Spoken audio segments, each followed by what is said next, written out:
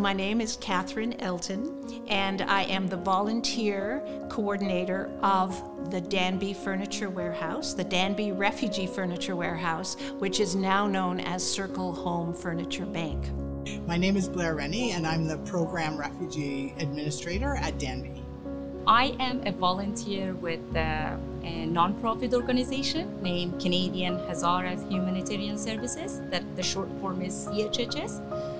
And we usually uh, provide settlement services to the newcomers, but after um, Afghanistan fell down and Taliban took over the country, then we started really focusing on the people that they were uh, in second countries or they needed help or they were new to Canada and um, Canadian government helped them and evacuated them. My job is to go get things, to bring them in.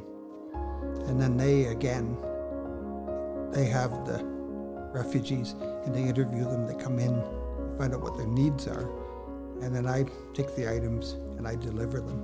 My name is Madeline Noble, and uh, recently my husband and I started to volunteer here.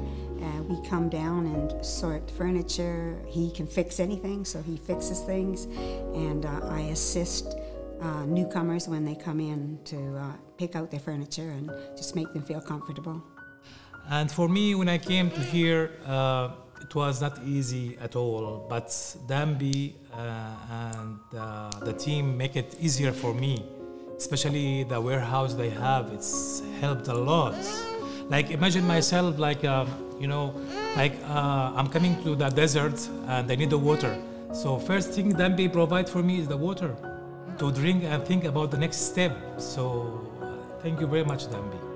So we serve newcomers, and those are people who have been refugees and coming from, for example, folks who've come from the Ukraine because of the war.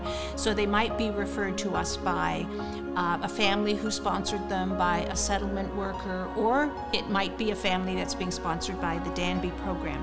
When we reach here, we feel like more comfort. Even though I, I was in, in very good condition in Dubai, but it's not my home anytime they will lay me off or you know it's not my home. I should back to to my home where there's war. But here in canada we have that that dream. And and we we already made it. But it takes a lot a lot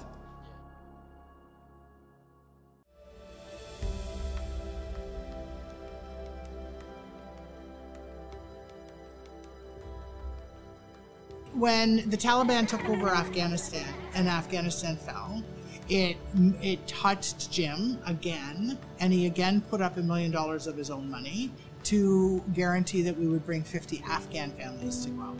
That wasn't until the following year that the government came up with uh, the Operation Afghan Safety, which gave us uh, SAWS extra allocation spots to be spent specifically on Afghans that were fleeing because the government had agreed to bring 40,000 refugees in. I belong to an ethnicity group in Afghanistan named Hazara. And as you can see, we have a Mongolian Asian feature. So we are easily distinguishable from uh, the other ethnicities. And we are um, also religiously, we are a minority in Afghanistan.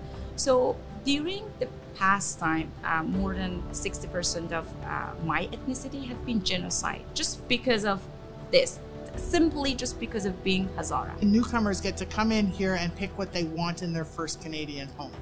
And that excites me. One of the things, reasons it excites me is that there's people in Guelph that have stuff that could probably get money for it.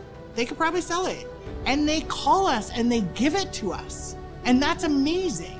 They just give us stuff. Oh, it's so great. It's like I was born to do this. But it's tough. Like it's really, really hard physical work. But mentally, it's so refreshing. Whatever uh, Danbys they are doing, it's very important. Uh, because they are touching the hearts of the newcomers. They are supporting the, the needs of the newcomers, you know? Like they, them, they think instead of me before I come. The story started that I had my friends, I had family members, they were in Afghanistan. And once the Taliban uh, took over Afghanistan, everyone ran away and they escaped to the neighboring country, either to Iran, Pakistan, or Tajikistan.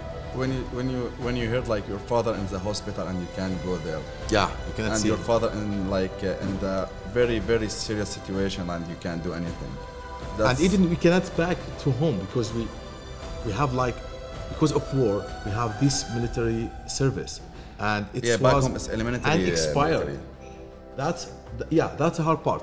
It's like it's like there's like any normal country if you want to serve the okay you are engineer you want to serve okay you can have you can be an officer for like one year and a half or something do the serve you know time and then you are free. No. No. You will end up in jail or or killed I wish there wasn't a need for it because I'd love if we didn't exist because there'd be no refugees. So you've got people who live in a country, and you've got immigrants, um, but then you got refugees, and they're refugees for a reason, and it's horrible. Like you wish it didn't exist. Like what they're coming out of. It's like, oh, it's so messed up. They have a beautiful little place living somewhere in the world, and then suddenly somebody starts dropping bombs on their heads. Like, what the hell is that all about? I like to help people, I always have, and I like meeting people from other countries and hearing their experiences. So down here, you never know who's coming in. They're helping you us with the information and everything. I tried to find a job, no experience, so nobody gonna hire you. Even here, like, even if you have experience, my brother have experience. Even if in you have Dubai, experience. you have to be North American experience. That's the problem there. Private sponsorship will bring more success to Canada. All these refugees that they come, they are not on their own. They have a mentor team. So Syria, and then Afghanistan, and now Ukraine. Just like completely, it's so messed up. Like, It's a little bit of a, yeah, it's a learning experience because, you know, in Canada here we come from a pretty nice uh, background. We haven't had too much hardship. And the other week I asked the gentleman, the young gentleman, I said, oh, so your mom and dad, uh, you know, they're not here? And he just said, they're gone. If I were to say that there was anything that breaks my heart about this program is the fact that there's that I I don't have enough spots. That the hardest thing for me to do is to say no to somebody.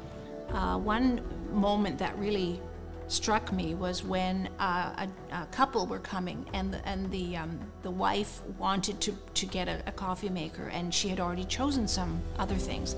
And the husband was very very resistant to her taking it.